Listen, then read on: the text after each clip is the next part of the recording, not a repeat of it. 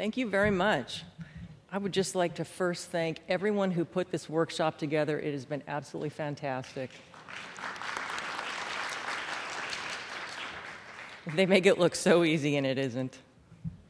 So, um, I'm from Bok Tower Gardens, as she mentioned, and we have a rare plant conservation program at the gardens that began in 1986. And so, I'd like to talk about the importance of our managed lands to endemic plant species in Florida. So, a little background Bok Tower Gardens is one of 39 institutions in the United States that is a member of the Center for Plant Conservation.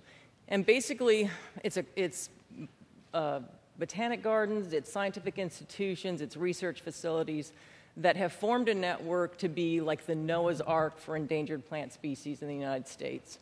So we focus on threatened and endangered listed plant species.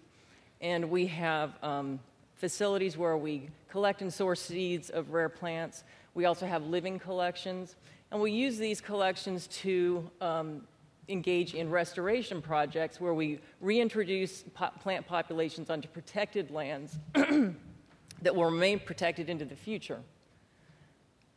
Oops. So, when I talk about plant, uh, endemic plant species, endemism means that these species occur here in Florida and nowhere else in the world. And because of our unique geography and natural history, um, we have a high degree of endemism in Florida. So, long time ago, when sea level was much higher than it is now, we had a series of islands in peninsular Florida when everything else was underwater. And this is where you find all of our endemic species. Now, these are also obviously favorite spots for railroads and roads and homes and businesses, so and agriculture. So um, we've lost so much of this habitat, which is itself now rare. Um, that that's why we have so many threatened and endangered plant species. In the scrub community alone, we have 29 federally listed endemic plant species. And again, these are species that occur here in Florida and nowhere else in the world. So at Bok Tower Gardens, we have all of these species under curation, and we also have special projects for a number of these species uh, when we can get funding to reintroduce them into the wild. So the scrub community itself is uh, critically imperiled. It's globally ranked G2, uh, with G1 being the most imperiled ranking. Although I would tend to disagree with that in some locations. In Central Florida, I would consider the scrub community G1, S1, S being your state rank. So here's an overview of obviously the Charlotte, Charlotte Harbor watersheds. And there's two endemic plant species that we're working on within this area that I would like to focus on just to give you an example of the work we do. So, Chrysopsis floridana, or Florida golden aster, is one of these species. It is a short lived perennial species that blooms in the autumn. It's blooming now, in fact. And it occurs in scrub habitats. Now, this is only the southern part of its range. Its natural historical range actually goes a little farther north into Pinellas and Hillsborough counties. But these are the sites that um, I was going to focus on for this talk because some of them occur within the, the watersheds of um, Charlotte Harbor. So, two of those sites, Paynes Creek Historic State Park and Duette Preserve, um, are reintroductions. And they're reintroductions on managed, protected lands here in Central Florida.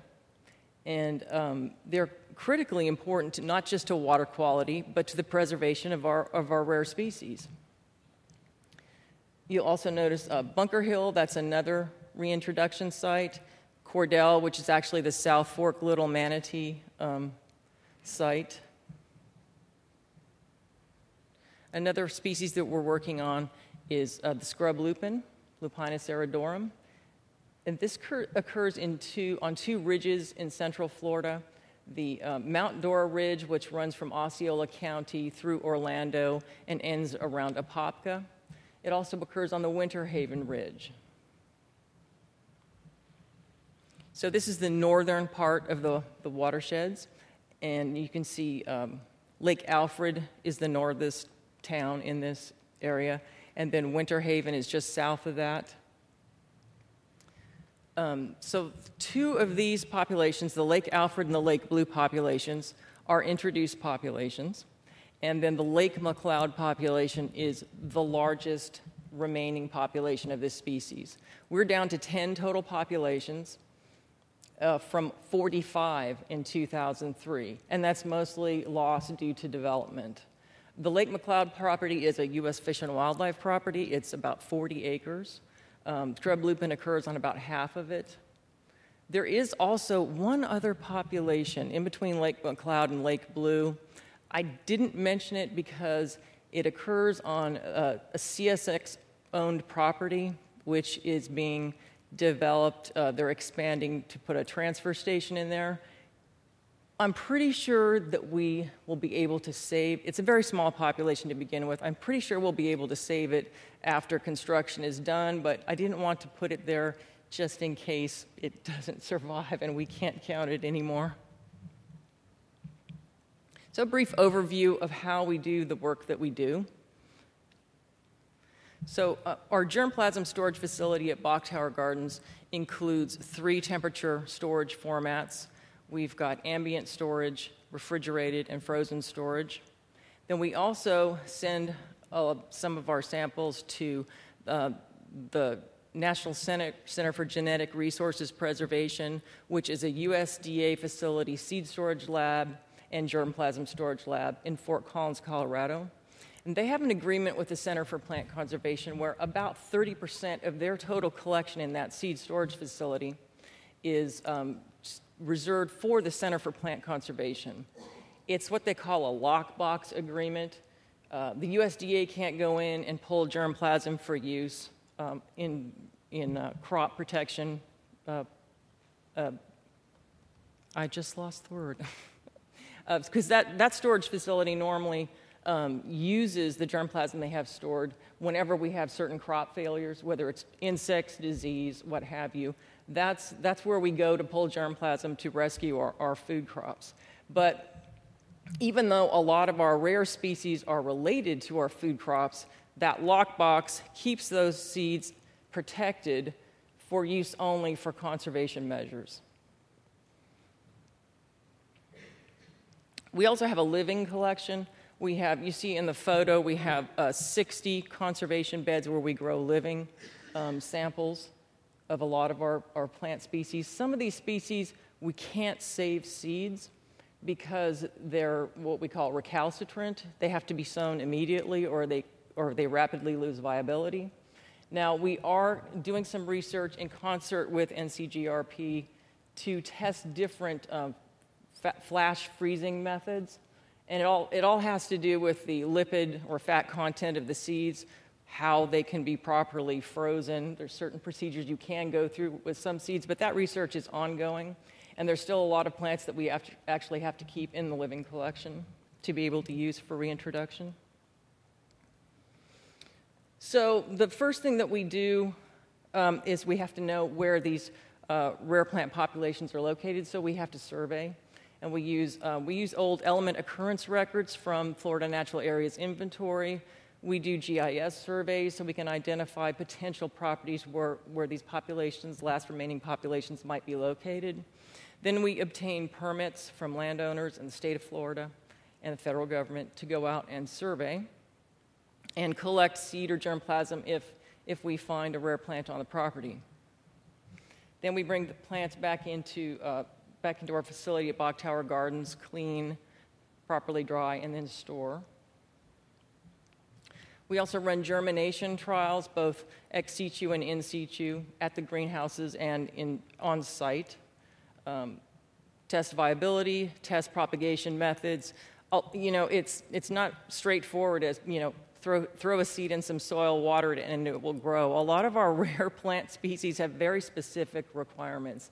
They've evolved in environments over millions of years that are, that are very site specific, and there's communities of species that really require each other in order to prosper. So um, it's actually a lot of work developing propagation protocols for these, for these species. And what we do with um, the uh, plants that we grow is that we, we, we database track every single seed that we collect, we know where it came from, when it was collected, who the, the landowner or site manager was. And then when um, we do our germination trials, all that, all that is database tracked. Then before the plants go out into the field, they are number tagged and flagged, and that, that follows that plant throughout its whole life so that we know where every plant came from. Then we introduce plants at protected site. This is um, actually Duette Preserve, a Chrysopsis floridana introduction that we did uh, this last year, this past June. And then we measure the success of our introduction efforts by um, monitoring annually. And this tells us a lot. It tells us how successful we were in propagation and outplanting. And again, outplanting is not as simple as let's just throw it in the ground and walk away. Um, some plants uh, have to be transplanted at certain sizes. Too small, they won't grow. Too large, they won't grow. Um, some have to be, like Lupinus aridorum, has to be transplanted into a, from a peat pot directly into the ground um, because it, it uh, hates root disturbance. So there's all these little trials and tribulations that you have to overcome. So annually, we go out, we monitor, we uh, collect data, uh, survival, is the plant dead, is it alive? The size, we take height and, and width measurements. Um, we record the, the stage. Is it a, a, new seedling, an adult? Is it reproductive? If it's reproductive, how many flowering stems do we have? Um, we do uh, seed, seed production estimates, and we do that by sampling certain number of uh, racemes. For example, on on these plants, they've got racemes where there are seed pods all along the plant. And when, they, um, when they're ripe, the pods dehisce and, and throw the seeds out. So we have to cover the racemes with pollination bags a month before they're due to ripen. And then, you know, when they're ripe, we come back and we clip the whole raceme and count and collect the seeds that way. So that's another method we use to um, estimate how many seeds are produced per raceme on average. We use that, um, our monitoring data, to estimate the number of seeds produced um, for the seed bank that year. And then we use that data to track uh, population status and population dynamics over time. Oh, and we also compare, because we, we do survey wild populations as well. So we like to compare wild versus introduced population, populations to see what kind of you know, information we can tease from that. We've also done a lot of, um, lately, microhabitat studies where we're really learning some interesting things about the importance of management in our wild areas. Because, you know, as I said before, these, these species evolved in a specific habitat, and um, decades of fire suppression at a lot of our sites really has um, impacted our wild populations. And um, so when we look at microhabitat data at managed sites and then we compare to our introduction sites, it really tells us some important information about what the species composition of the site ideally should be. And we have tons of partners that we work with. You never can have too many partners or too many volunteers. And um, thank you all, and I'll take questions. I did have a question. Is it documented when the last Florida plant species was lost to extinction? I don't know that oh. we've lost one yet. Oh, cool. That's good. And it won't happen on my watch, that's for sure. Fantastic. Thank you. That's good news.